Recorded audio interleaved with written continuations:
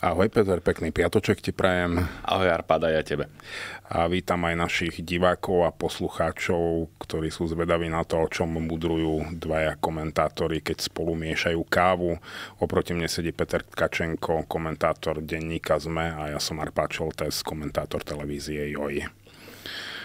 No, e, ty si tento týždeň akože mal podľa mňa, že komentátorskú žatvu, keďže si oveľa produktívnejší ako ja. No, ma, toto bol naozaj že, že narvaný týždeň, takže až sa bojím, aby sme to všetko stihli prejsť, aby sme poslucháčov potom nemorili príliš dlhým rozprávaním tak asi rovno toto to, to môžeme odštartovať. E, o veľkom sociálnom balíčku sme sa rozprávali už, už minulý týždeň, takže tie vlastne uh, meritórne aspekty e, sme v zásade prešli, ale máme tu ešte stále politické.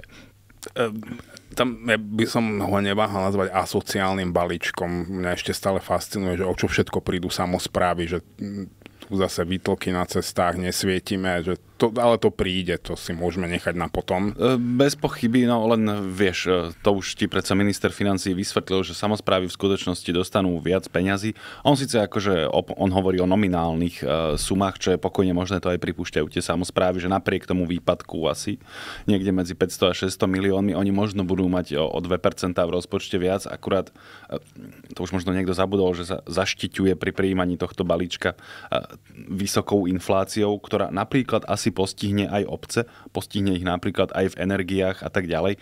No, ale nechajme to tak. Teraz eh, sme pri tých politických aspektoch. Eh, teba čo, čo sa ti viacej páčilo pri tom schvalovaní? Ako Igor Matovič eh, sa pobratal s fašistami, alebo alebo to, ako nám vynadal, že sme vlastne nepriatelia rodín, alebo to, ako sa rozhádali fašisti? Mne sa najviac páčilo to, ako sa Igor Matovič pobratal s fašistami. Jednoznačne to bolo tak, také, že top to, že nám nadáva, to bezvýznamné podľa mňa. Ako sa, pozri, ty by si chcel, aby ťa Igor Matovič chválil. Toto je vyloženie zákerné, asi, asi skôr nie. To je ten okamih, keď musíš zavesiť remeslo na klinec a chytiť sa lopaty a začať robiť niečo iné. Ten deň, keď ťa Igor Matovič pochváli, si skončil. Dobre. No, pripúšťam, že toto je naozaj silný motív. Mňa, uh, myslím, tá spolupráca Igora Matoviča s fašistami. Mňa osobne asi najviac zaujalo to, ako vysvetloval, že sa stretol s Martinom Beluským, to je predseda poslaneckého klubu a podpredseda LSNS, teda bývalý predseda poslaneckého klubu, keďže oni už ten uh, klub nemajú. No a vysvetloval nám, že sa museli spolu 3 hodiny rozprávať, pretože pán Belusky prejavil hlboký záujem o odborné aspekty e, tohto predloženého návrhu ministra financí, takže sa to museli proste rozoberať. Takže mňa tam zaujalo viacero momentov. Jeden je ten, že možno minister financí, keby mu niekto prezradil, že existuje akože normálny legislatívny proces, tak možno, že poslanci by nemuseli sa dozvedať o aspektoch nejakých návrhov e, z nejakej diskusie na rýchlo s ministrom financí. No a potom to, ako teda akože poslanci Liosanos prejavili uh, úprimný záujem o, o hlbokú uh, a odbornú diskusiu na túto tému. To si fakt úplne živo predstavujem. Chcel by som byť tá povestná muška, vieš, na tej stene, ktorá tam počúva Martina Beluského, ktorý sa pýta na tie technikálie toho rodičovského bonusu a tak ďalej. Ja som tak rozmýšľal, že či na takom tom klasickom konskom trhu, či trvá handľovanie 3 hodiny, že vieš, že ale však ten kôň, že pozri mu na zuby, to, za, za toto ti nedám, neviem, 4 zlatky, to je tak na 5 strieborných a no ako tak zase halo, že je to tvoj kôň a máš ho rád, vieš, no ako takéto naozaj to handľovanie si za tým predstavujem, lebo ja si naozaj neviem predstaviť poslanca Beluského, ako rozoberá technikálie e, protiinflačného balíčka, v skutočnosti inflačného balíčka. No veď e, nie sme azda úplne celkom e, mechom udretí, takže predpokladáme, že naozaj sa tam nerozprávali o My nejakom... už aj tušíme, čo vyhandľovali, to je na tomto najkrajšie. Je to pekné. Ako, ja som si vlastne túto tému odkladal na neskôr, ale, ale pokojne to môžeme aj teraz, keďže tá súvislosť je, je úplne integrálna. Takže úplne mimo kontext e, schváľovania tohto balíčka nám Igor Matovič oznámil, respektíve ona takým tajomným spôsobom vyšla na prvých informácia, tak, tak akože, že unikla. To bol tiež podľa mňa taký riadený únik že Igor Matovič prišiel uh, s prelomovým nápadom, že nemali by si proste televízie a médiá vo všeobecnosti pozývať politikov do diskusí len tak halabala podľa toho, ako im napadne a ako by akože uh, chceli, ale podľa toho, ako dopadli parlamentné voľby Technikálie samozrejme ešte nepoznáme, ale som presvedčený o tom, že Igor Matovič nám ich e, predostrie. Ja sa priznám, že ja som to najprv považoval za takú akože bublinu od neho. Že, že, že on sa predsa len učí od Roberta Fica a Robert Fico vedel takéto bubliny vypúšťať, hej, že rozprávajte sa tu na o tomto proste bársčom a odvrátil pozornosť a, a išlo sa ďalej. Ale teraz sa mi zdá, že Igor Matovič na tom naozaj nástojí spôsobom, ktorý nám dáva dôvod nazdávať sa, že si vymyslel naozaj niečo nové a bude to chcieť presadiť. No povedzme si, že táto vec má jediný jeden vecný obsah, že vytiahnuť fašistov z karantény, lebo tých nevolávajú do diskusí, všetci ostatní tam majú úplne normálny, adekvátny priestor a dokonca sa ani nikto nestiažuje na to, že by ho nemal. Myslím, dokonca... že smeráci trochu áno, ale nemyslím si, že, že oni by ako... A oni sa tam tiež objavujú, ale zdá sa mi, že oni niečo sporadickejšie. majú ten istý problém, čo ja tu viem takto, že z našej kuchyne, ktorý je Igor Matovič, že ich aj zavolajú, ale on, oni si chcú diktovať, že kto za nich príde a to tak normálne nefunguje, ako tá dramaturgie politické relácie, že volám si toho, kto je pre mňa zaujímavý, kto je, kto je kompetentný odpovedať na otázky moderátora. A pokiaľ viem, Igor Matovič tiež, že sa nehrnie do politických diskusí, ale bude sa rád tváriť, že je opomínaný, keď mu to pomáha. Ale toto bolo inak celkom sofistikované, lebo to ti možno ušlo. Ale on si ešte večer predtým, alebo deň predtým si on kopol do Barďasa, do Petra Bardyho, do šéf-redaktora Aktuály, do, takže dvakrát, že myslím, že u Braňa Závodského a potom na svojom Facebooku. Myslím, že, že to bolo tak, že najprv e, prišiel na Facebook Petra Bardyho, ktorý napísal nejaký štatút, tam mu napísal taký ostrejší svojský komentár, kde mu ešte aj týkal. Mne prekvapilo teda, že si navzájom týkajú. Potom som sa dozvedel, že si navzájom... Nie, to, to bolo jednostranné týkanie. Hej, že to bolo také, ako, ako nejaký kápo v base si myslí, hej, že, že my si netýkáme, ja ti týkam. No, potom si to Igor Matovič zavesil tú odpoveď ešte na svoj Facebook, no a potom na druhý deň bol v Exprese u Braňa Závodského, kde cítil potrebu e, znova toto rozobrať. Ja, ja som si hovoril, že ja som taký istý sedlak ako Igor Matovič, že možno by som mu aj odtýkal a potom by som si uvedomil, že, potom som si uvedomil, že vlastne asi skôr nie, lebo ono predsa tým výkaním človek dáva najavo to, že má od niekoho odstup. Čiže on má asi k tomu Barďasovi taký nejaký, že on, on sám to cíti asi ako nejaký blízky vzťah, len mu niečo práve teraz vytkol. Ťažko povedať. Ono to vyzerá tak, že on akože cieľene vyhlásil vojnu médiám, lebo však komu lepšie ako aktualitám, ešte presne tam spomenúť Jana Kuciaka, ako, aby to bolo čo, čo najhulváckejšie, aby to vyvolalo naozaj čo najväčšiu odozvu a potom do toho povedať, že a musíme ich zregulovať. Lebo vlastne on chce regulovať médiá a pre mňa je fascinujúce, že Robert Fico, e, ktorý cieľene, premyslene viedol vojnu s médiami, lebo mu to prišlo, že to je pre ňoho pred jeho voličom dobrý imič, nikdy e, reálne nezasiahol do mediálneho obsahu, nepokúšal sa regulovať média. Najväčší hysák bol, keď právo zavádzal na právo na odpoveď, čo bola úplná blbosť. Hej, akože to bol papierový tiger, ako chvíľku vypisovali eh, kdejakí pometenci z parlamentných lavín, lavíc eh, neskutočné, aké pekné, aký pekný breb, že lavín, že to boli že lavíny uh, slovných hnačiek, ale to, že behom pol roka to zaniklo spontánne, lebo to nemalo nejaký zmysel a vlastne to nikoho ani nebavilo písať ani nebol priestor, kde to publikovať, to išlo vždy všetko na web, čiže a, to, a toto bol najväčší mediálny hriech Roberta Fica. On inak ako on nadával novinárom, veľmi prispel k nejakej atmosfére v spoločnosti, ale vecne on vlastne nikdy na médiá ako na, na nejakú súčasť demokracie, že nesiahol, nepokúsil sa ich obmedziť. Veď si to podľa mňa dnes aj trochu vyčíta. Určite je mu to veľmi ľúto. A... No ale ty si predpokladám chcel povedať, že je tu istá irónia osudu, že teda Robert Fico, ktorého môžeme dôvodne podozrievať z toho, že teda liberálna demokracia nie je jeho e, najobľúbenejší spôsob zriadenia štátu, nič také neurobil. A teraz Igor Matovič e, celkom otvorene sa tým vyhráža a asi sa zhodneme, že... On sa nevyhráža, on sľubuje. Alebo sľubuje. A, a zrejme sa zhodneme, že, ten, že toto je napríklad jedna z vecí, ktoré myslí vážne, takže je reálna, tak, môžeme očakávať, že sa mu to naozaj podarí presadiť, lebo keď on niečo naozaj chce, eh, už zo skúsenosti vieme, že to presadí. No, ja si myslím, že to je presne, že o tom bolo to handľovanie, že teda za toho prašivého konia si poprosíme mm, prašivý mediálny zákon, nejakú úpravu. Eh, vzhľadom na osobu ministerky kultúry si viem predstaviť, že návrh zákona vznikne, potom uvidíme, ako sa vyvinie v parlamente.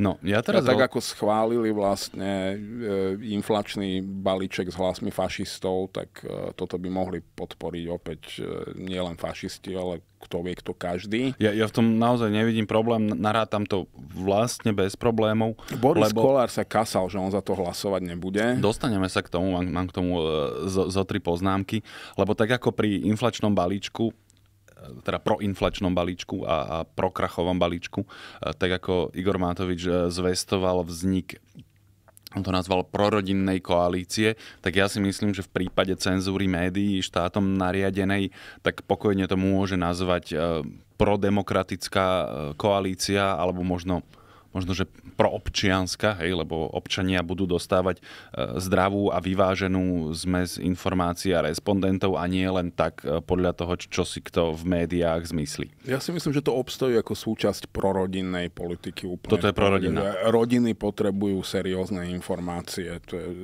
rodina je také slovo, ktorým sa môžeš zaklínať dookola e, to, k tomu sa dostaneme u nášho južného suseda čo chvíľa, lebo máme ho niekde v pláne, takže...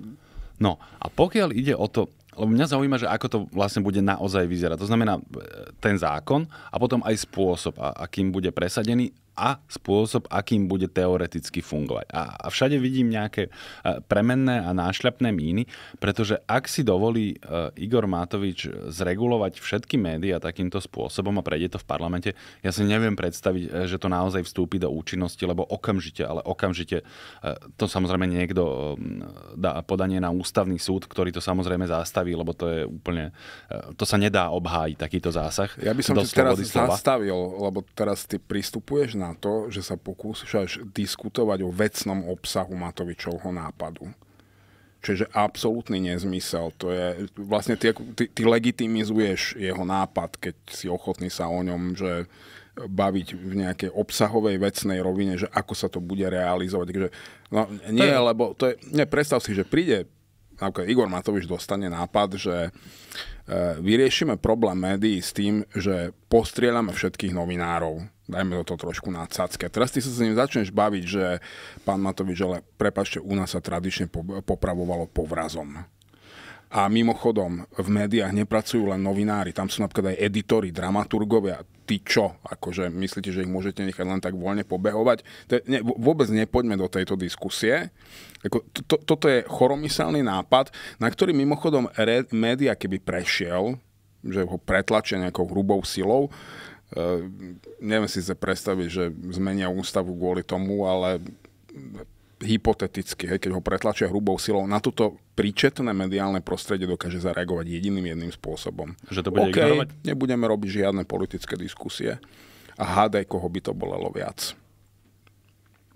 Lebo no. oni ťa, môžu ťa prinútiť, že ako má tá diskusia vyzerať, keď ju zorganizuješ, ale neexistuje zákon, ktorý ťa prinúti ju organizovať.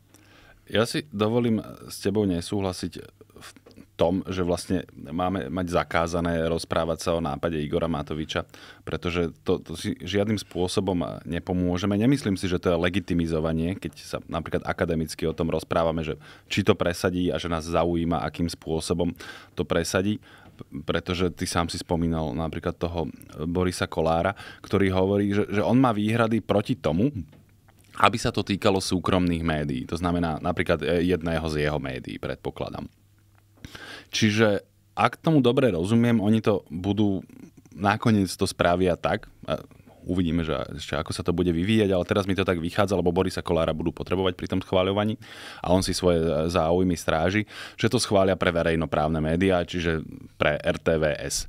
A tam si dokonca viem predstaviť, že, že keď to nejak šikovne napíšu, tak to napríklad možno testom ústavnosti ešte u nás možno aj prejde a, a budú to musieť e, zakázať nejaké medzinárodné inštitúcie, lebo predpokladám, že sme viazaní aj nejakými e, medzinárodnými záväzkami. skrátka jednoducho zaujíma ma, akým spôsobom toto budú presadzovať a ako to prejde, aj tá ich argumentácia. To bude naozaj veľmi zaujímavé, keď sa opäť zošikujú s ľuďmi z LSNS a, a, a nájdu spoločnú platformu a argumenty, to bude naozaj veľmi dojemné spájanie e, celého jedného spektra spoločnosti od Igora Matoviča cez Borisa Kolára k Kotlebovcom. A nezabudneme na ľudí zo za ľudí a toto si ale zákerne nespomenul len tak, že? Ty si chcel o ľuďoch podľa mňa e, niečo povedať, lebo im sa tiež ušla e, nejaká mediálna pozornosť pri e, schválení konečne. proinflačného balíčka konečne. Ako lebo sa už... viditeľne zahlasuje s fašistami. Presne tak. Takže a myslím si, že až, až také silné svetlo nebolo vrhnuté na tie dve poslanky, ktorým si neviem spomenúť nikdy na meno, lebo za ľudia majú teraz štyroch poslancov Jedna z nich je, myslím, že pani Pivková, ale teda tých, čo ešte poznáme po mene, sa volajú e, Juraj Šeliga a Jana Žitňanská. E, ja sa priznám, že... Jana Žitňanská s Belúským, chápeš, to je skvostné. Pritom mi bolo aj, aj trochu nevoľno, pretože napríklad Janu Žitňanskú považujem dlhodobo za jednu z tých lepších vecí v slovenskej politike. Ona, ona je v nej e, naozaj už dlho. Ja si myslím, že pamätám, e, že prvýkrát nastúpila do parlamentu, myslím, v roku Predstav 2010. Si, si z tej debničky to lepšie jablko, ale potom ho tam necháš stáť mesiac, dva, rok, tri, no se nie nakoniec. No, len ona tam zostala stáť, respektíve sedieť a, no, a nechala na seba... nám jablčko. No? A, a to už aj vlastne vedome potom na seba e, nasypala tú hnilobu tak to je dospelá, je svojprávna, lebo inak by nemohla byť poslankyňa. Takže to sú také že základné podmienky na to, aby ťa mohli voliť. Že musíš byť plnoletý a musíš byť spôsobili na právne úkony. Vlastne tam iná kvalifikácia ani nie je, ale táto je, ešte musíš byť občanom Slovenskej Musíš republiky. byť viac ako plnoletý, musíš mať až 21 rokov. Dokonca, dokonca. takto, áno.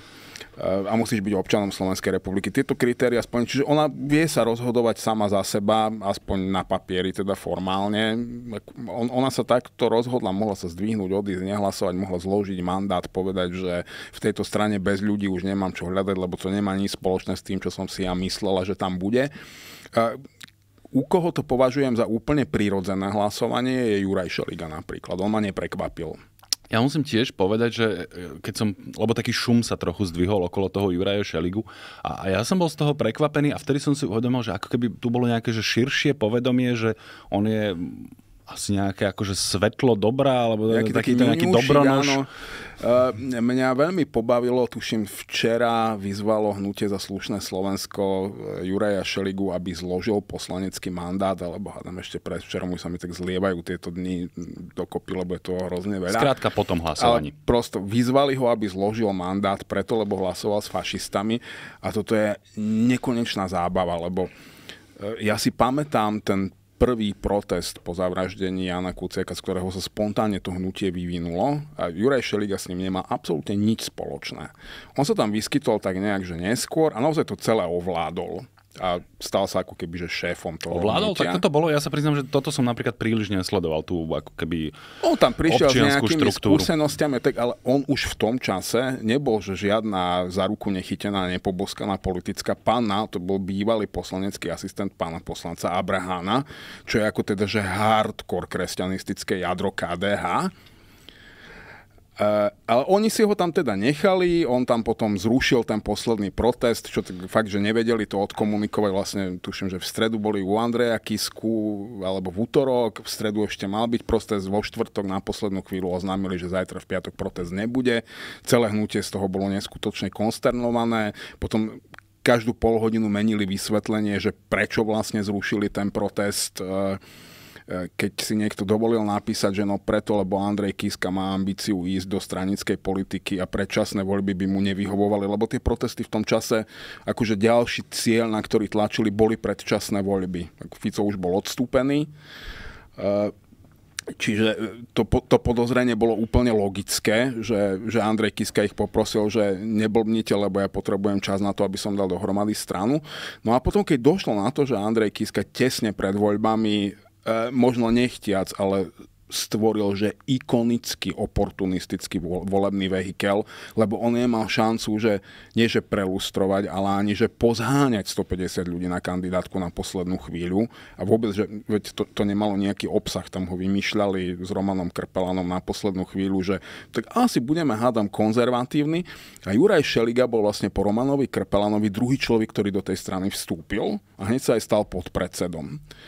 Čiže E, nevieme mu dokázať, že toto bol jeho deal s Andrejom Kiskom od prvého okamihu, ale podľa mňa to, že on to popiera, mu nemôže veriť ani jeho vlastná mama. E, ja mu verím, že to popiera. To, tak, tak to, to, ja mu... že to popiera je jasné, ale že, že, že hovorí pravdu, ako ja, ja mu to nedokážem, ľudsky mu to nedokážem uveriť. A on, on naozaj, on, on je že hyperambiciózny od prvého okamihu, vychádza presne z toho kresťanistického hardcore jadra a v podstate tí fašisti nahlas hovoria to, čo si on myslí, ale predsa oni sú takí tí slušní, tí kultúrni, že to nahlas nehovoria, čiže preň ho s nimi hlasovať je podľa mňa, že úplne v pohode, on sa nad tým nemohol ani zamyslieť. Takto, ja by som sa aspoň formálne nejakým spôsobom dištancoval od tvojej konšpiračnej teórie. Nie v tom zmysle, že ju popieram, ale ja si o nej nemyslím naozaj nič. Lebo ja som to, sa priznam, že ani žiadnym spôsobom neprežíval v tom okamihu, keď sa napríklad zrušil ten protest. Ja si to pamätám, že v ten deň ja som písal nejaký komentár a, a zastavil sa za mnou taký e, zľahka rozrušený zástupca šéf-redaktorky Jakub Filo, že bol zrušený protest a ja, že a?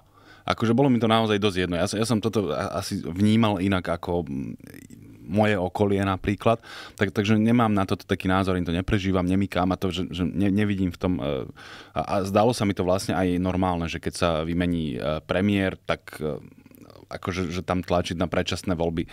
To, to je úplne iná téma, veď to som vtedy aj ja v tých komentároch kritizoval, že pokiaľ oni chcú, že naozaj že riadiť ako keby politické dianie, tak to sa nedá robiť z námestia, to sa dá urobiť tak, že kandidujem vo voľbách. No veď aj Juraj Šeliga vyplnil tvoje volanie a bol tam. Len on celý čas popieral, že toto je jeho cieľ. Mne ide iba o to, že on naozaj, on, že očividne nie je úprimný, e, tak začal, lebo už len tým, ako sa on prezentoval ako občianský aktivista, kdežto vieme, že vieš, keď si asistentom poslanca, to jednoznačne už máš politickú minulosť. Nemôžeš o sebe tvrdiť, že si apolitický. A to, že mal politickú ambíciu úplne jednoznačnú, to, to dokázal v okamihu, keď vstúpil do tej kiskovej strany. Čiže... Ja by som bol opatrný s tou apolitickosťou. Zas to, že si poslanecký asistent, tomu môže byť pokojne. Samozrejme, že vyjadruješ, ale respektíve odzrkadluje to aj nejaký typ tvojich politických sú preferencií, lebo pre ultra nepriateľa by si nepracoval, ale sú naozaj bežne poslaneckí asistenti, ktorí sú v zásade ako keby len odborní, hej, že píšu návrhy zákonov a tak ďalej. Samozrejme, že je tam nejaký sú v typ affinity. dva typy poslaneckých asistentov. Jedný, a e, to, to je ešte v podstate to sympatickejšie v tej prvej fáze, že niekto, kto je právnik, politolog, čokoľvek má záujem naozaj o politiku, a on sa tam niečo naučí v tom parlamente pri tom poslancovi, ale je úplne jasné, že ten človek má politickú ambíciu, inak by si vybral inú prácu v rámci svojej odbornosti, nie asistenta poslanca. A potom je samozrejme ten druhý typ, kde je to nejaká trafika pre nejakého kamaráta, príbuzného, niekoho, komu som zaviazaný a dáva mu ten plat poslaneckého asistenta každý mesiac, lebo sa nejak pričinilo to, že ja som poslanec. E, Šeliga bol jednoznačne ten prvý typ, čiže o ňom ako hovoriť ako o apolitickej persone z občianského prostredia bolo, že zvrhlé od prvého okamihu. Ale ako, OK, mňa e, pobavilo na tom záslušné Slovensko to, že oni taktne mlčali celý ten čas, ešte keď vstúpil do tej kiskovej strany, tak ako oni tak síce ako povedali, že no, no nie sme z toho nadšení, ale je to jeho slobodné rozhodnutie, vlastne sa rozišli v dobrom. Čiže vtedy, keď mali kričať, mlčali, a teraz kričia, keď ich do toho ale, že absolútne nič nie je. Mm-hmm, on tam Ako oni ho nemajú na základe čoho vyzvať, mm. aby zložil mandát. On nekandidoval za nich. Ako áno, použili ich na vykonanie svojej politickej potreby, to je pravda, ale, ale to, to si oni vina, nechali. Mm-hmm. To si oni nechali. A teraz po pomaly troch rokoch začať jačať, že ty tam nemáš čo hľadať, lebo si nás zneužil, je naozaj oni skutočne, že prepásli svoju šancu mlčať. No vidíš, a aj teraz Juraj Šeliga vyplnil v podstate tvoje volanie a želanie a odkázal slušnému Slovensku, že on teda nemá žiaden dôvod e, nikam odstupovať. A dokonca sa pokúsil o argument, že prečo vlastne to hlasovanie s fašistami je v poriadku, lebo predsa vyrátal, že e, pri tom hlasovaní, respektíve hlasovaniach, ono ich je vždy viacero, že bolo prítomných asi čo ja viem, 133 poslancov, takže na schválenie by stačilo 67 a to mala ako keby aj to jadro koalície, takže vlastne tých fašistov e, nepotrebovali a čo oni za to môžu, že oni sa pridali, hej.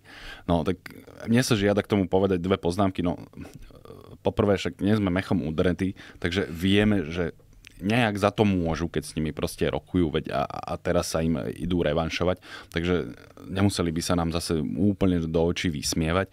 No a po druhé, áno, tých 67 akože teoreticky stačí v takomto okamihu, akurát ty keď vidíš, že máš len, respektíve aj tá opozícia, tí nepriatelia vidia, že má 67 hlasov, no tak nedopustia, aby bolo uznášania schopné plénum. Hej, vtedy stačí proste vytiahnuť karty a ty s tými 67 ti proste akože e, si nepomôžeš. Tam bolo dôležité, že všetci vedeli, že v tomto pléne je 80 plus hlasov e, za to, aby to prešlo, pretože Igor Matovič sa dohodol s fašistami a s týmto bola uzrozumená celá koalícia vrátane Juraja Šeligu a napríklad Jany Žitňanskej a oni dobrovoľne do tejto koalície hlasovací s fašistami vliezli. Ja si myslím, že nakoniec ich spájajú tie rodinné hodnoty. To, to sú ktoré presne? Akože platiť ľuďom za to, aby ja rodili ne, peniaze? Ne, ne, nemám tak podrobne naštudovanú úplne manuál slovenského vojnového štátu, že čo znamená rodina, rodinná politika, ale niekde na tej úrovni oni sa všetci že mentálne stretnú. Ako preto, Čiže je to v zásade podľa teba prirodzené. Všetko že nie môžeš to označiť tak... za prorodinné, po prípade za pronárodné. E, bude to zase to za Boha za národ a bude to fičať, neboj sa. O, o to sa neobávam, ale trochu sa nám jedna, neviem, či sme to už e, dosť rozobrali, ako sa rozkmotrili fašisti v tom pléne, ako si nadávali, lebo to bolo naozaj dojemné. Ja som sledoval skoro celú tú rozpravu, ona trvala e, niekoľko dní a, a myslím si, že tento týždeň si hlavné slovo zobrali e, tie rozštiepené krídla LSNS a republiky, teda oni spoločne kedy si kandidovali e, na, stra- e, na kandidátke LSNS. Ešte samozrejme, aby som nezabudol na, na Kufovcov, tí, tí vlastne sa pridali tiež k tej prorodinnej koalície z LSNS. No a oni si ti tam asi 2-3 dní vymieniali také invektívy, tak na seba nadávali, že kto je tu zradca. Na jednej strane e, republika vyčítala LSNS a, a, Kufovcom, že sa z nich stali vlastne ultraliberáli a, a, a tak, lebo teraz e, hlasujú s Igorom Matovičom a podobne. A naopak smerovala výhrada, že tí Mazurekovci, a to je zase trochu aj pravda, lebo oni argumentovali tým, že teraz neschválime tú vec a rozpadne sa na tom koalícia. Hej? Tak oni z LSNS na nich kričali, že ale to vy tu trepete naozaj e, dve natrivy oportunistické svine. Vy ste sa proste dohodli s Ficom a on nechce, aby ste za to hlasovali, takže toto vymýšľate.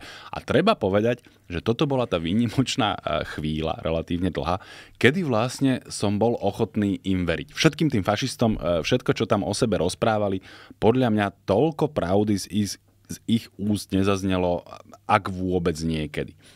E, samozrejme, lebo oni sa dobre poznajú medzi sebou, oni sa, na, nakoľko sa to dá odhadnúť, tam medzi nimi nemôže byť, že ideologický spor, oni sa zrejme rozhadali nad stranickou kasou, lebo Úplne bez nej prišli peniaze. E, čiže, a, a to sú veľmi jedovaté boje. E, mňa na tom úplne najviac pobavilo, že, že chalani z republiky hodili do jedného mecha, že s tebou so mnou, že fašistov z SNS, že oni sú liberáli, tak ako my. To musí ako veľmi bolieť. Počkaj, ja by som sa akože k liberálnej nálepke aj, aj trochu ohradil. Ja sa... Určite ale by chápem, sa ohradil aj poslanec Belusky. Dokonca aj ja by som sa ohradil. Ja tiež nerozumiem, prečo ma všetci považujú za liberála. Ale veď dobre teda. Mne je v zásade úplne jedno, ako ma nálepkujú. Len tu sa krásne ukazuje to, že v akom zmysle oni používajú slovo liberál. Ako ja by som to aj povedal náhlas, ale ne, nevieme to tu vypípať. Ale pre nich je to, že ne, vezmeš niečo z anatómie, ideálne z pánskej a plesneš tým niekoho niekoho po čele, tak takto oni používajú slovo liberál, že to nemá obsah, to je len nadávka. A to, toto je čarovné, že aj toto oni takto pekne vlastne túto odkryli, že Kotlebovci liberáli mňam fakt ma potešili v tomto prípade s červenými kravatami. Bolo to fantastické. No a pokračujeme, teraz už e, tieto kroky sme prešli, takže prichádza ďalší a to bude pani prezidentka, ktorá sa ocitne pred pre ňu zrejme dilemou, ja si myslím, ako pre mňa by to dilema nebola, ja to nepovažujem za dilemu, či mám uh, túto, uh, ten legislatívny zdrab a handru a hambu, uh, či to sa má alebo nemá podpísať. Ale keďže už poznáme históriu pani prezidentky, ako sa stavia k tomu, čo niekto prezentuje ako sociálna téma, tak e, mám aj e, trochu obavu. Ty si čo myslíš, že ako to dopadne? Respektíve, či by to podľa teba napríklad, či by dá sa, sa mala to, púšťať do tej dá bitky? Dá sa to odmietnúť s nejakou doložkou vysvetľovacou, alebo podpísať s nejakou? No, ne, asi sa nedá. Dá sa aj s doložkou, dá, dá sa to všelijako, lebo e, vidíš, ty si asi nikdy nerobil parlamentného spravodajcu, tak nevieš, toto tak ťa akože poinformujem. E, prezidentka, alebo prezident, keď e, odmietne podpísať zákon, tak ho vlastne ako keby vracia do parlamentu a vtedy mu môže napísať, že, že či to odmieta ako celok, alebo našla tu a tu a tu e, nejaké výhrady, no, takže navrhuje zmeniť. detailne napísať, že čo tomu zákonu vytýka, čo by museli odstrániť na to, aby bol priateľný. Presne tak. Nie, niekedy hovorí, že ten zákon je taká sprostosť, že proste tam e, nie je čo Hlúpo som sa opýtal, odmietnúť sa dá len s doložkou, ale podpísať s doložkou sa nedá. No, skúsila to už pani prezidentka raz v zásade, lebo ona je, presne, ona je vyložene doložkový typ, e, lebo tento typ skúsenosti už máme.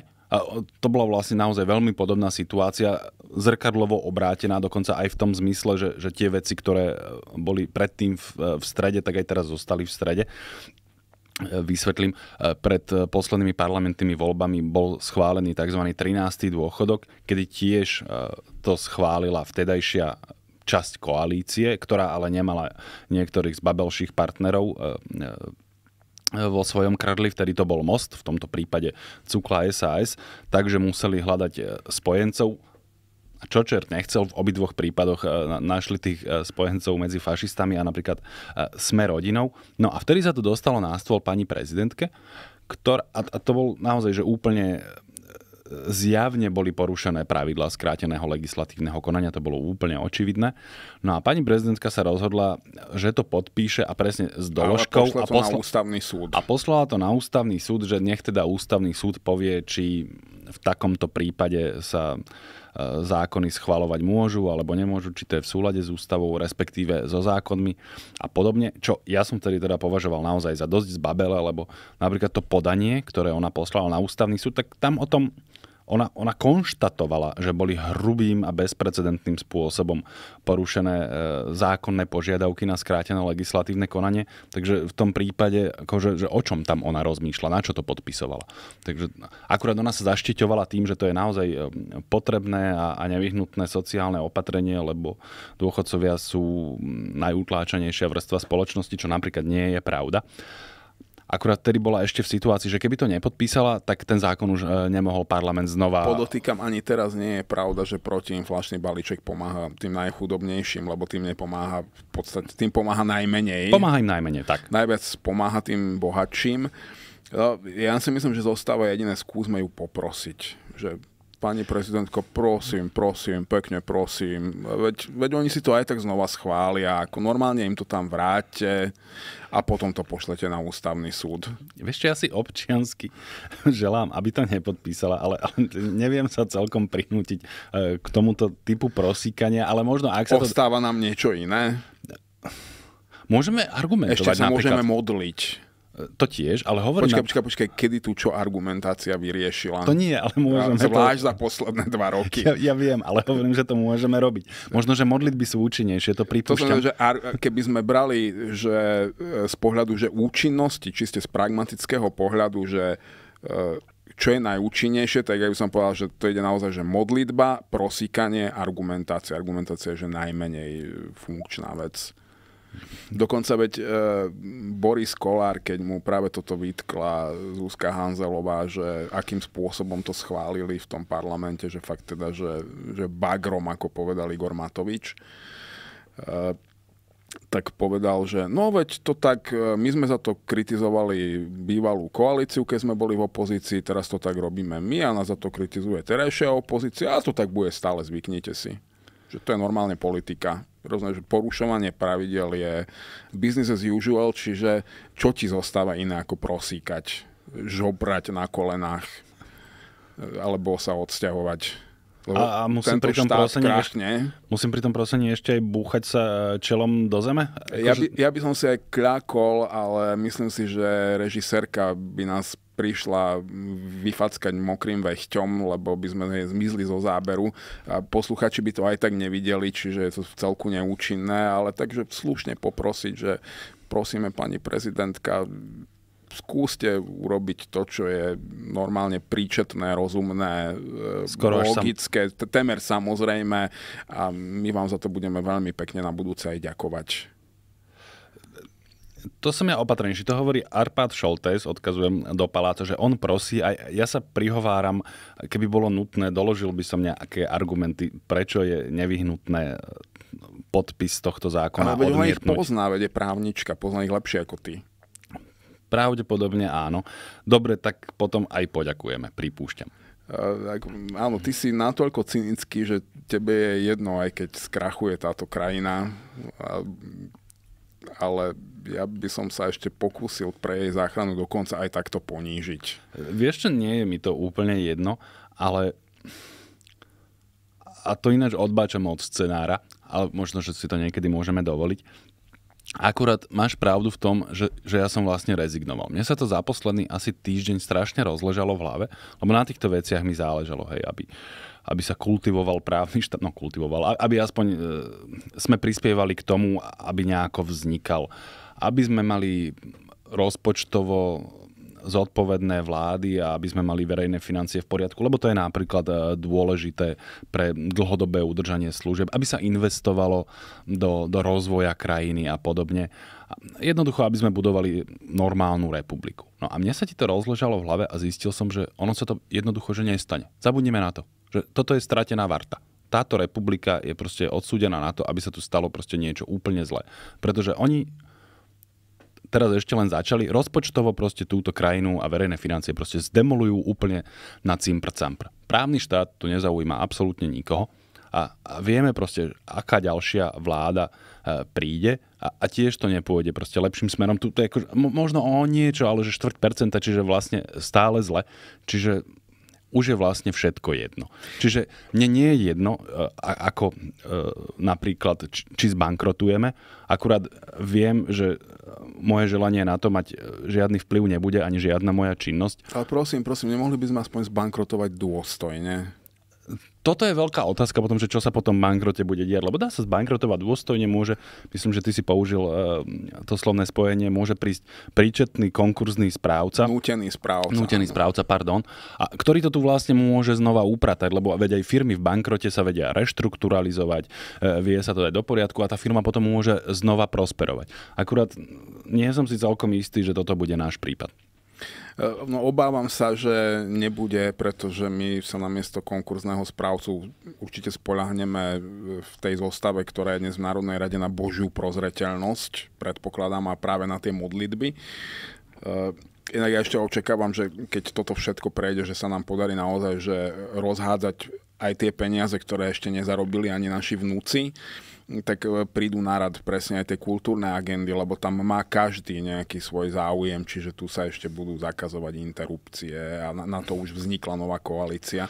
A vieš, čo je ale fascinujúce? Že tu ako keby nikto nemal odvahu povedať na hlas, že tu už de facto vládne menšinová vláda, ktorá nie je schopná pozbierať na svoju volebnú agendu, s ktorou išla do volieb ani 76 hlasov, ale dokáže pozbierať vyše 80 na úplne nezmysly.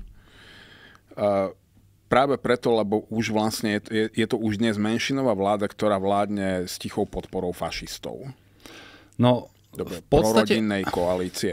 Tí, tých ľudí inak spája, vieš čo, že oni všetci by spoločne kedykoľvek išli na pochod za rodinu a šli by spolu hlasovať e, v referende, čo bolo, vieš, že Veď je to aj prorodinná koalícia. Fuj, homosexuáli sem nepatria. Ale musím povedať, teda, že v jednej veci si ma vydesil, e, budeme e, pokračovať, ale ty si povedal, že ono pravdepodobne príde na božiu prozreteľnosť, z čoho ako keby mi vyznievalo, že, že my dostaneme spravodlivo to, čo si zaslúžime?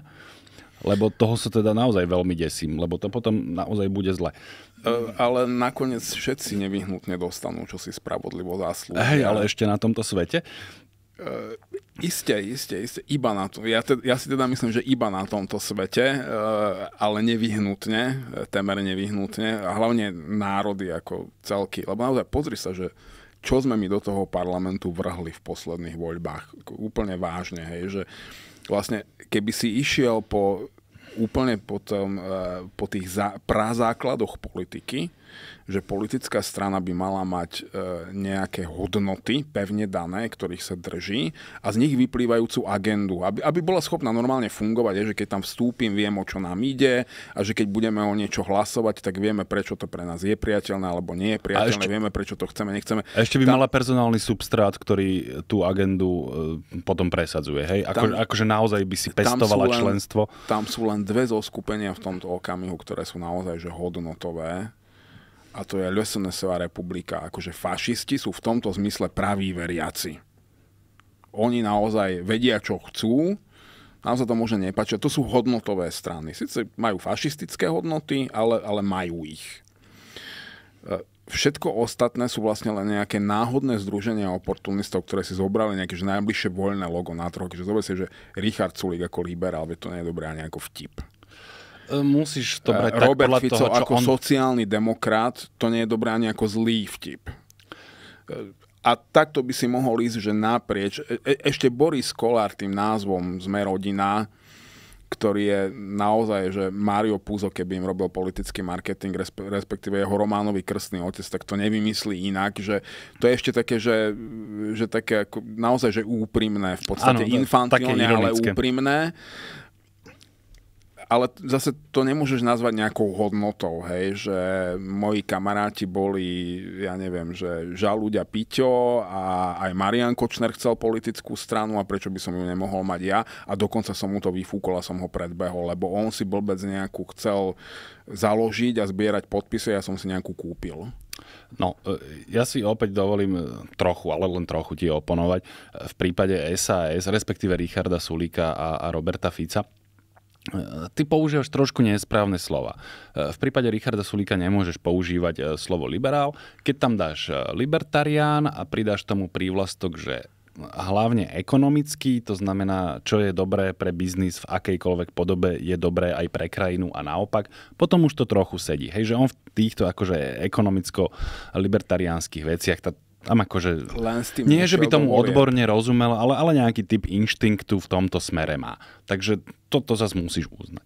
A, alebo e, Robert Fico. Dobre, tak sociálny demokrat, to je, to je v jeho prípade nemiestný vulgarizmus, ale čo keby sme to upravili na, na, na, na, na socialistický ľudové, zástanca socialistickej ľudovej mm. demokracie. To už by akože že trochu Ľavicový sedelo. konzervatívny nacionalizmus by som tam našiel, ale sociálnu demokraciu teda ani No, proste nejaký typ, hodnot, nejaký typ hodnot by sme tam zasa našli. Nie je to tak pe... sa ale menili neustále. Pripúšťam, hovorím, nie je to tak pevne zakorenené ako v prípade tých naozajstných hodnotových e, fašistických strán, ale predsa len nejaké by sme našli a hlavne členov a poslancov si prosím ťa pozri, kto z nich naozaj e, je že politicky presvedčený o tom, za čo tam sedí. No, ja som vedel, e, že ty si zákerný, čiže toto už by som opustil. Ešte mi nápadlo totiž, my sa tu rozprávame o, o témach, ktoré Igor Matovič presadil, alebo presadiť chcel, v zásade všetko okolo sa toho týka, ale podľa mňa podobne podstatné je to, čo vlastne presadiť zjavne až tak nechce a to bola téma či už embarga, alebo potom zdanenia ruskej ropy. Ak si všimneš, spomenie, že ono sa o tom pomerne vážne rozprávalo, akým spôsobom k tomu pristúpime, aké kapacity má Slovnaft a ako my mu vlastne buď štát alebo Európska únia ak vôbec treba, ale teda, že či pomôcť a v akom horizonte teda tú ruskú e, ropu zastavíme. V podstate sme sa bavili o tom, že buď to bude do konca roka, alebo chvíľu potom, ale v zásade e, by to išlo. No a už sa o tom nebavíme. Už sa o tom nebavíme, ale a ešte to malo sa taký... už nebavíme ani o tej dani pre Slovna, že tak. poďme ich zdráť, síce nikto nevedel, či to bude 300 miliónov alebo 30 miliónov, ale teda, že poďme Slovnaft, čo je vlastne maďarský mol, že zdráť o tie peniaze, aby sme si nimi pomohli my, ale ešte je vtipné, že Viktor Orbán v Maďarsku, už vlastne tento, tento týždeň jeho nová vláda zložila prísahu, a on už oznámil teda, že ide zdaniť práve aj veľké energetické podniky. Čiže pokiaľ sa Slovnaftu podarí šikovne preliať svoj zisk do molu, tak e, tých, nech je to 30 miliónov alebo 300, neviem, ale tak nakoniec si ho neskasneme my, ale Viktor Orbán v Maďarsku. Ale on to predpokladám použije na prorodinnú politiku, čiže... Určite on ide tiež bagrom, on deň predtým, ako, zložil, ako zložila jeho vláda prísahu, si nechal odhlasovať eh, zmenu ústavy, do ktorej doplnili možnosť vyhlásenia eh, stavu vojnovej núdze aj v prípade, keď je vojna v nejakej susednej krajine. Čiže v tomto prípade na Ukrajine? V tomto prípade na Ukrajine doslova niekoľko minút po tom, čo vláda zložila prísahu, vyhlásili od polnoci stav ohrozenia čo mu dáva možnosť, uh, on, on to už zač- začal cez pandémiu a to, tomu práve teraz skončí, čiže preto potreboval tento, ja by som to nazval, no, že maďarské zmocňovacie zákony.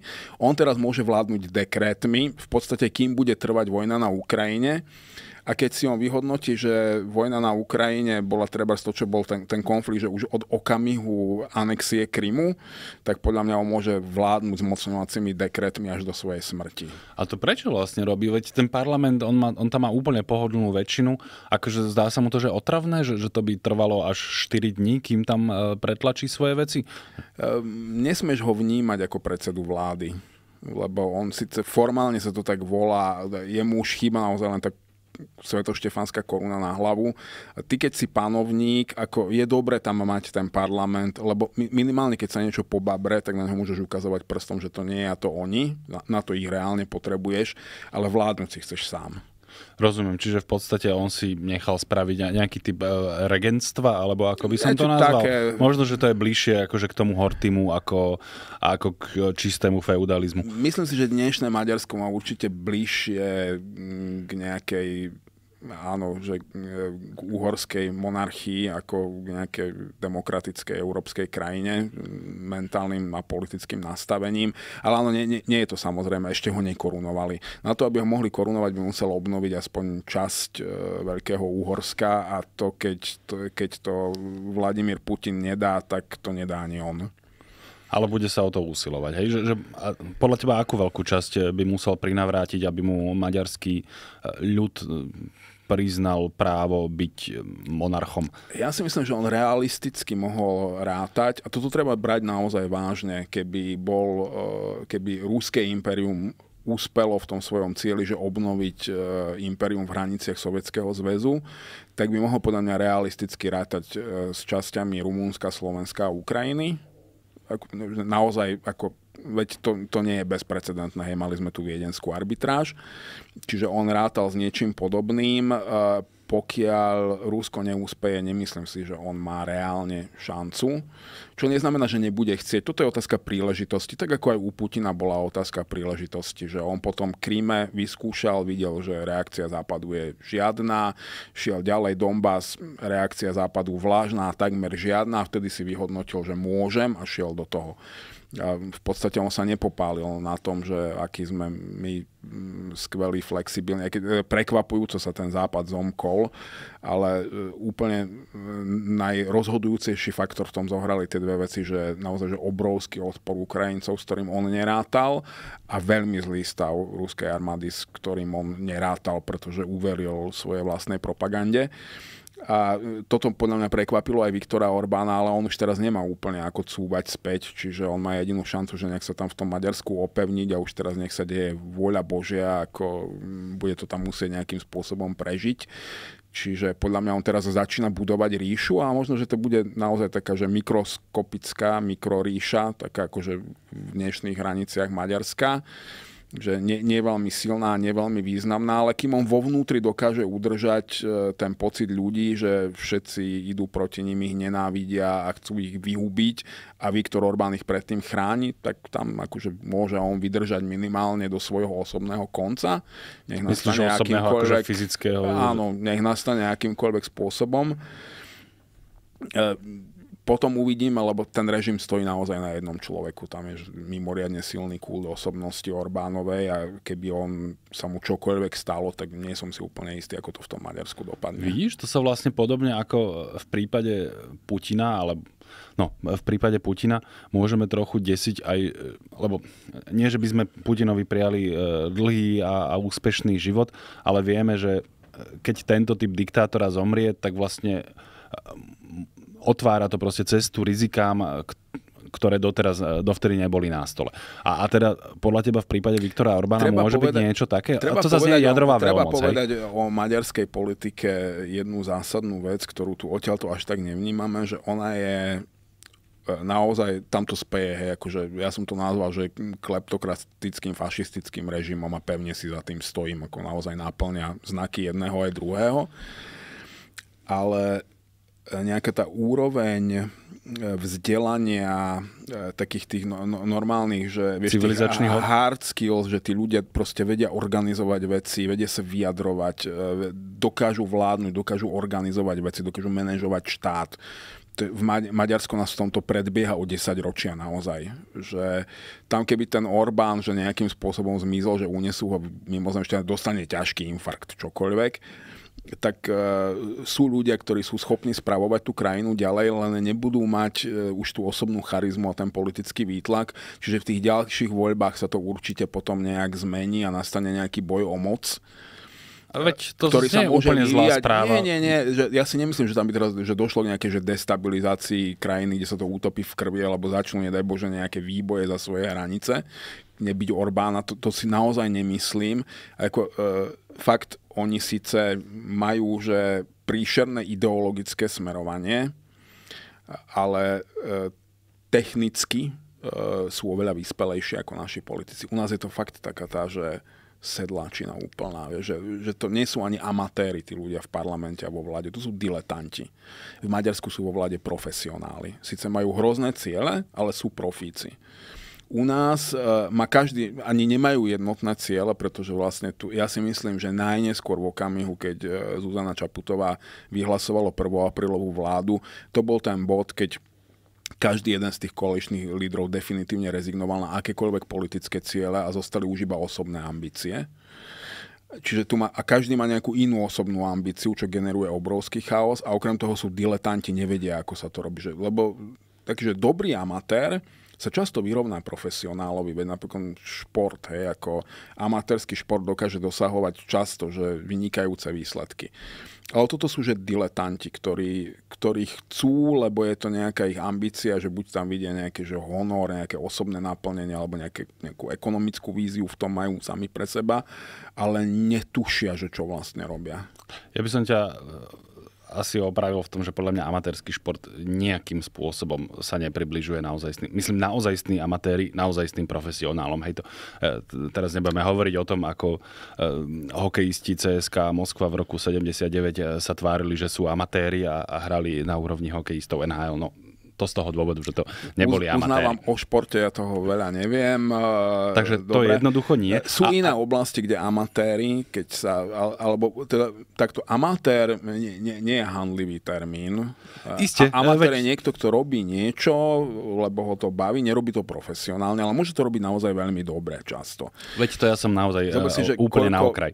Objavov v archeológii pôvodne robili amatérskí archeológovia že významných, hej, ako napríklad, že poďme preč od športu, dobre, lebo keď sa naozaj živím tým, že používam telo, tak asi dokážem dosahovať iné úspechy. No, ale chcel som teda Ja som meritorne... amatérsky spisovateľ a predávam rovnaké množstvo kníh ako profesionáli. Čiže No ale tiež za to určite drzo dostávaš peniaze. No ale, ne, Ale nekryvdil, si, nekryvdil si trochu Igorovi Matovičovi akože v, v tom z tých slovách, že, že diletanti a amatéri, lebo podľa mňa on už tú hranicu prekračuje, e, veď sme to tu konštatovali, že on keď niečo chce, síce spôsobmi, ktoré sa nám nemusia páčiť a z pohnútok, ktoré sa nám nemusia páčiť, ale on tie výsledky e, naozaj dosahuje. A Počkaj, mm, ja si nemyslím, že autenticky jeho cieľom je zrujnovať krajinu ekonomicky, že ju dostať normálne že do krachu. Že Gréci sa nám budú smiať onedlho. E, On, e, on je podľa mňa skalopevne presvedčený o tom, že on si robí svoju prácu a robí ju dobre. U neho je problém, že on, on nedokáže plánovať, on nemá plány alebo nejaké že analýzy. On, on má iba nápady Má nápady, áno. a on ich realizuje a on si myslí, že toto je politika. On, on si to podľa mňa normálne autenticky myslí, že on je spasiteľ tohto národa a on bude najviac prekvapený, keď to tu jedného dňa skrachuje. Dokon, alebo dokonca ani nebude prekvapený, pretože on nájde 10 tisíce vinníkov, e, ktorí to zbabrali napriek tomu, že on bol na dobrej ceste zachrániť to. Lebo to, on, on je, to je tá štruktúra osobnosti. Vieš čo, on, podľa mňa jemu to bude hlavne dosť jedno.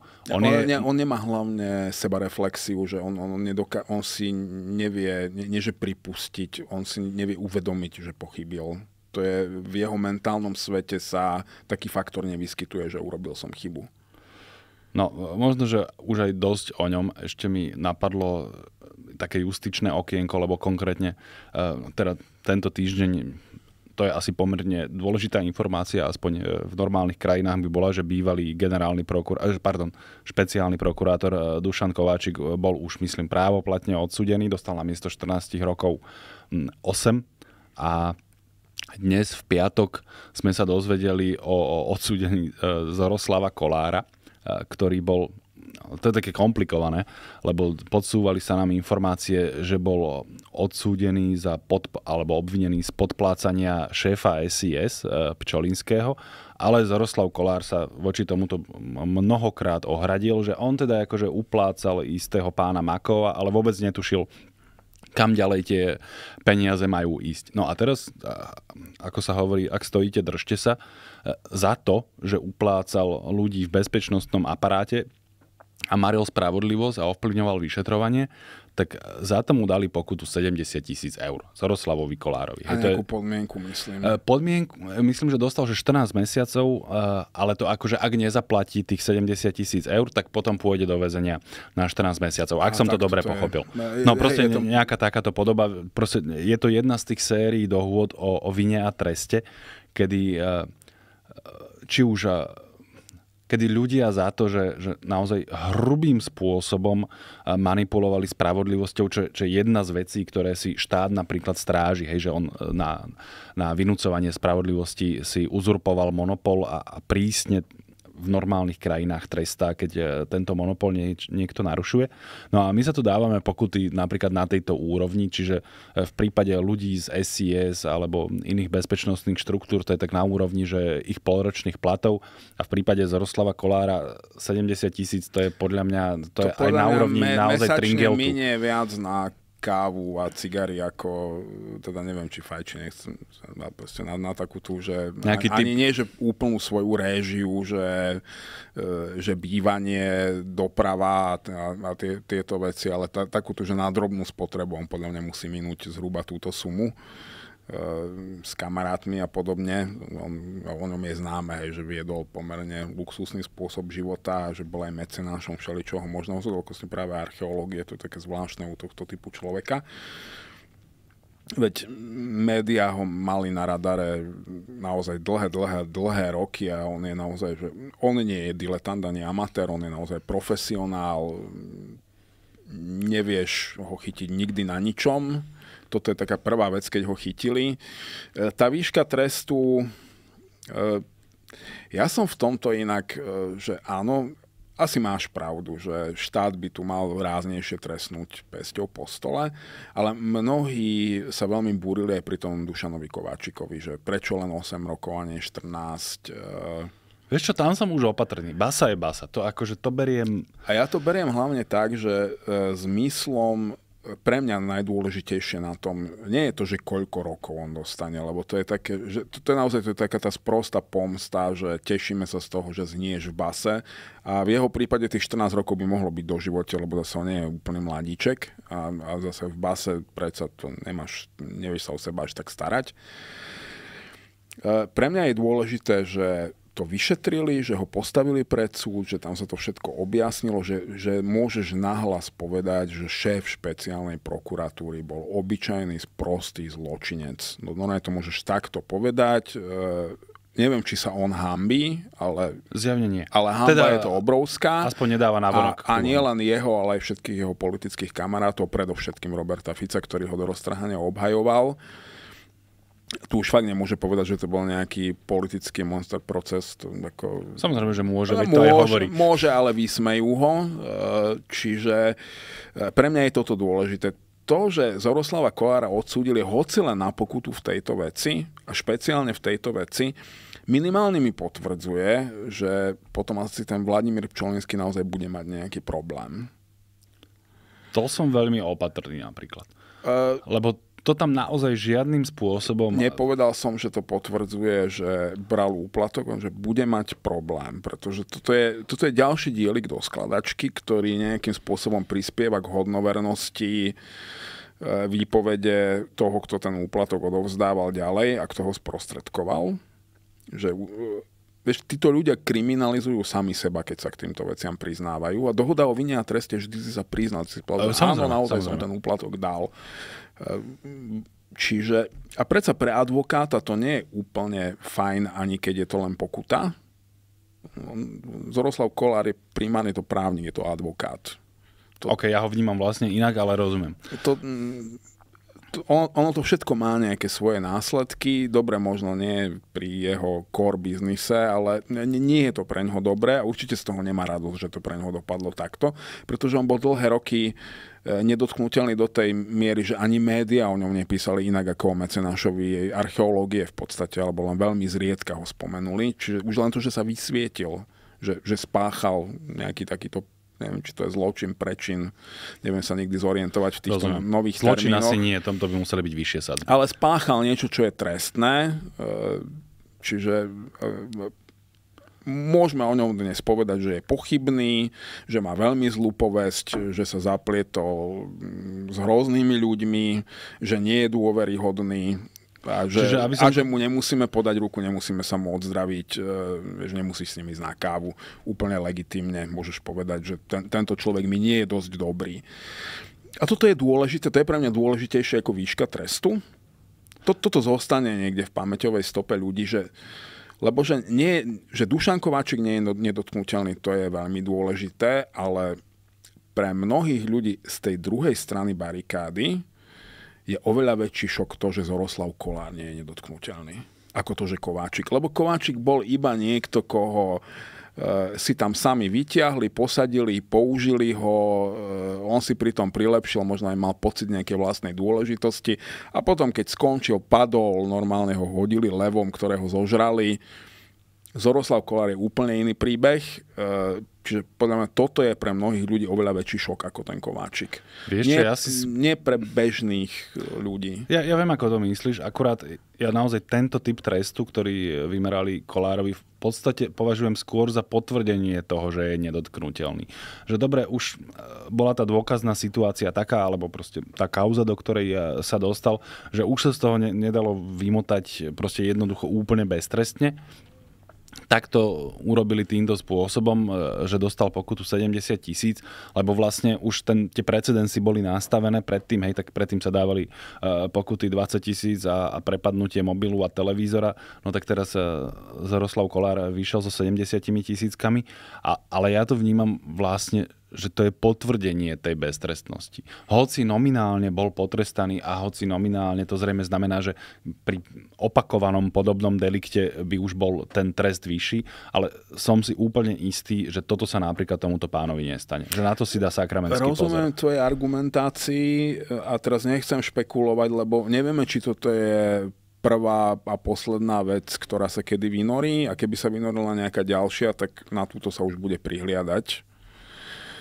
Čiže Uh, áno, chápem, čo hovorí, že akože odísť zo 7, zo 7 eur, lebo to je ako keby mne dali, že 7 eurovú pokutu na súde, tak takto ich vyťahnem z vrecka, ich tam odrátam a idem domov veľmi spokojný, že nič sa mi nestalo. Dokonca pri tých finančných trestoch je to tak, že oni sa zahladzujú v okamihu zaplatenia. Čiže v podstate on je opäť akože de jure bezúhonný občan ale môžeme už o ňom aspoň hovoriť, že je pofiderný. A ja ho vnímam ako natoľko silnú postavu e, pozadia e, rôznych odvetví e, tejto spoločnosti alebo vôbec celej šedej zóny tejto spoločnosti, že už len to, že ho takto vysvietili, ako pre mňa osobne, že spôsobuje veľké uspokojenie, ale rozumiem aj tomu, čo hovorí, že toto nie je naozajstný trest, to je pravda, nie pre ňoho.